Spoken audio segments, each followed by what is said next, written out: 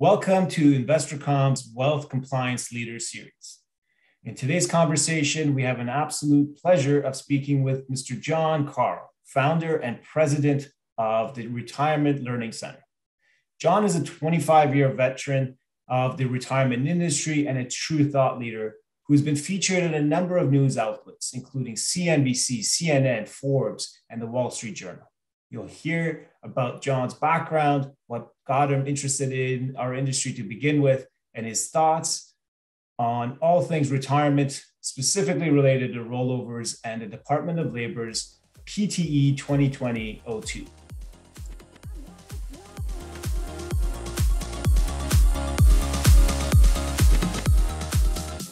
John, welcome. Very excited to speak with you and dig into the new rollover reality, as you've coined it. Thank you, Parham. Pleasure and privilege to be here. Great.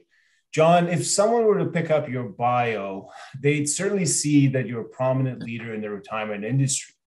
Uh, if we were to step back a little bit, uh, super curious to know what really got you interested in this side of the marketplace to begin with.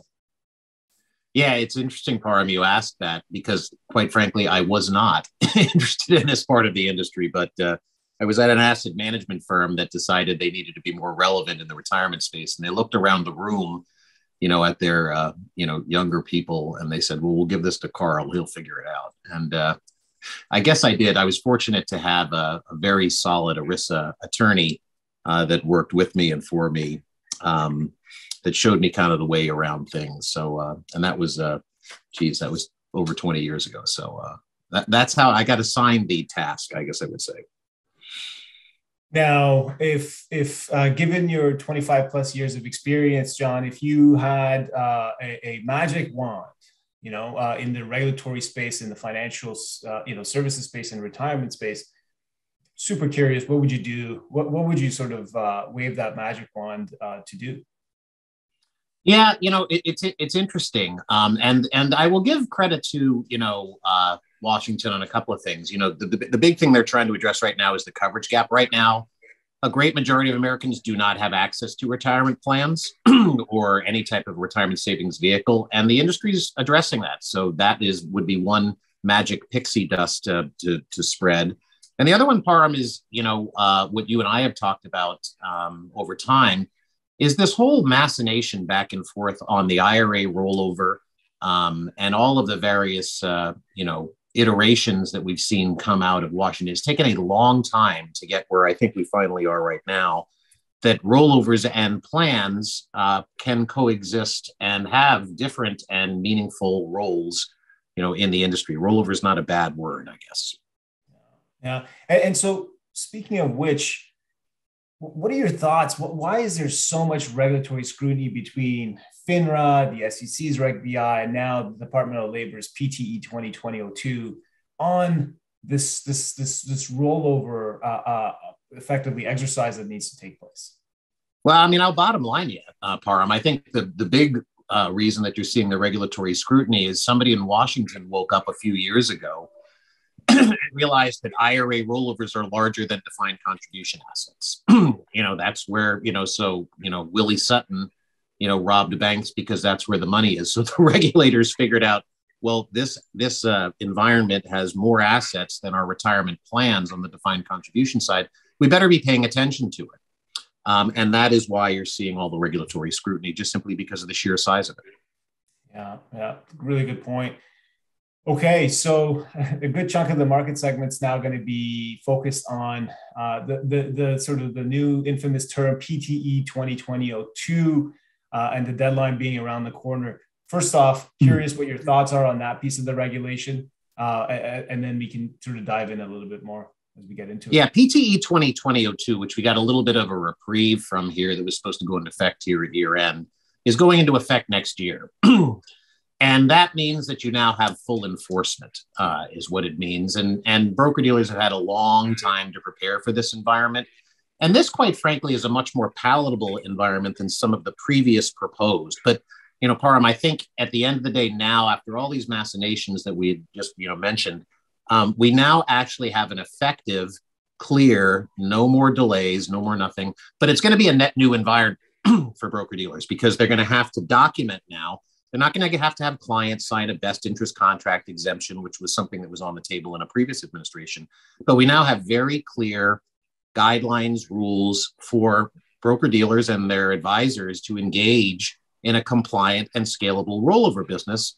But they're going to have to comply with this, uh, which means they're going to need, you know, enforcement tools, compliance tools, review tools uh, to be able to do this in a scalable fashion. And the rules really aren't that draconian. I think they're pretty basic and straightforward, and they make a lot of sense. But it's a net new reality, and this time it is actually a reality for them. Yeah, that makes sense. Speaking of reality, one of the key points of emphasis has been around, uh, you know, capturing costs as part of that analysis. Uh, first off, conceptually, um, do you have any views on that exercise uh, holistically? Yeah, I mean, I think it's an important exercise. I mean, from a, bu- a bunch of different reasons, Parham. I mean, you know, I do a lot of work out in, in the field, you know, speaking with advisors and oftentimes their clients. And it never ceases to amaze me when we do client meetings that some of them don't even think there are fees related to their 401k or their 403b or other plans. So, number one, you know, having the fee discussion helps Mrs. Lubner out there understand that, yeah, you know, there is costs associated with your plan. And then number two, of course, and this is that whole regulatory scrutiny of a larger environment on the rollover side is that you know there's going to be a difference between the costs that are there in your plan versus the costs that are in an IRA or a wealth management environment. And usually, not all the time, but usually those costs are going to be higher over on the IRA side. So making sure that the client or the prospect understands that there number one are fees in the plan, number two there are fees in the IRA and they could be higher. So therefore you have to be confident and acknowledge that the services that are over on the IRA side of the equation justify uh, the higher fee environment. So I think the fee conversation in general is healthy. I think that uh, you know some of the misinformation that's out there could have been handled a little bit better. Speaking of uh, misinformation, you've sort of set, setting me up nicely with the segues here, John. Um, you know, a lot of people have pointed to this 404A5, sort of these account statements. Uh, curious to know your thoughts on it and how attainable is that from a cost gathering perspective? Yeah, you know, um, you know, this is, you know, this is, you know, I'll take a, a, little bit of a knock on the DOL. So the DOL did a great thing with fee disclosure, right? There's 408B2, which is service provider fees. There's 404A5, which is participant level fees. So the concept is great, right? Let's disclose and let's you know make sure that fees are out there. The the flaw that I saw is is in the infinite wisdom of the DOL, which this is what they often do. They didn't give you a format, so there's no standard format for 408b2 provider disclosure. So you can imagine that they're written in all different types of languages and forms, Vulcan being one of them, probably. You know, and the same thing on the 404A5. There's no standardized disclosure, and there's no requisite database. and I'll go into one step further, Parham, not to get too torturous here on this. But the hunt for the elusive 404A5, the DOL says that when an advisor engages with a participant or a prospect, client, whatever it is, they have to say, hey, you know, you need to understand you have fees in the plan. You know, show me your 404A5 so that I can compare that fee environment to the IRA environment I'm proposing.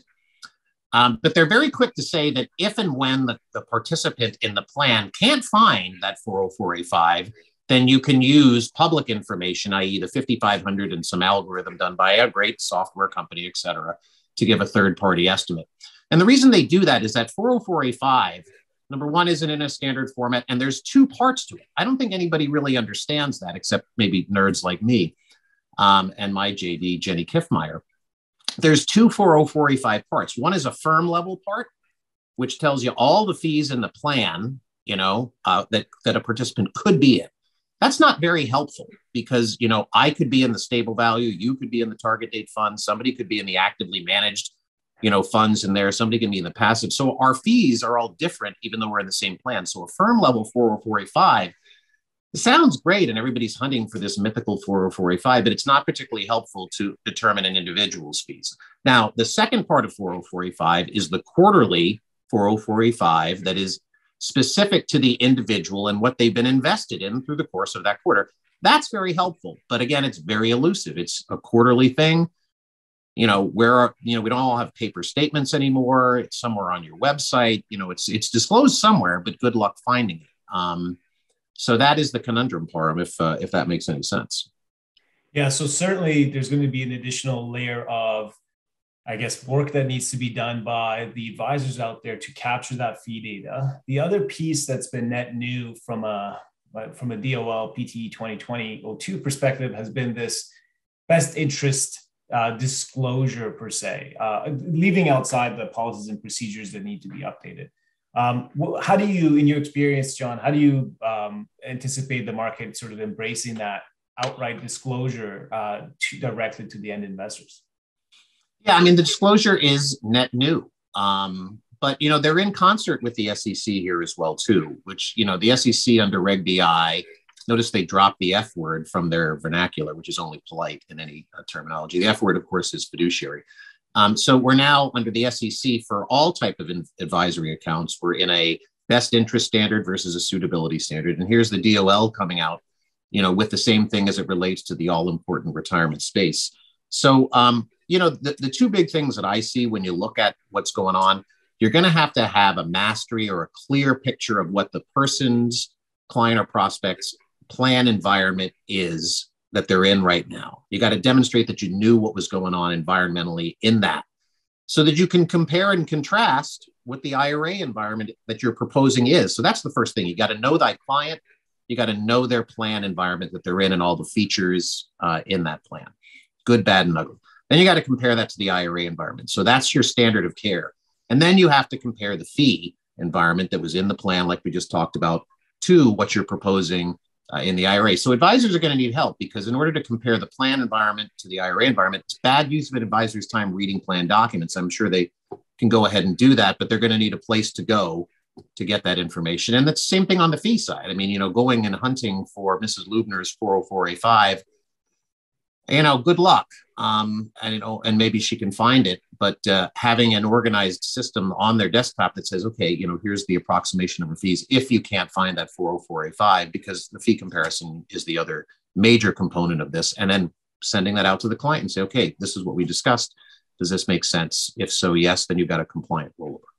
Perfect. So you, you know there's a lot of uh, sort of due diligence uh, if i could summarize it that way that needs to take place by advisors you mentioned sort of the desktop um, you know what role do you believe technology holistically will play in that sort of end-to-end experience for reps and advisors? Oh you know i think it's got it's essential you know Parham. I'll, I'll make some fun of retirement learning center. We've been in the business since 2003 we take advisor calls and we get about 1100 calls a month. We've been giving out information on the phone, you know, for since you know 2003. I mean, and that's great. I mean, there's a there's a place for that personal touch, but you know, uh, I think you know in the modern environment, you know, to have that data, you know, imported for an advisor to have on their screen and say, okay, here's a snapshot of what Mrs. Lubner's plan environment looks like. If they need to talk to somebody about that, great. And then here's the fee comparison that you're hunting for. Look, if she can get you the 404A5, great, load that up into the system. Um, it'll be interesting to see whether your compliance department will let an advisor load a 404A5 up into their system, but then double check that across what's publicly available and an approximation. So, I mean, to me, everything that I'm hearing from the broker dealers out there, they're all searching for, you know, a tool, if you will, that uh, will make uh, the advisor uh, scalable in their ability to go after compliant uh, rollovers where appropriate.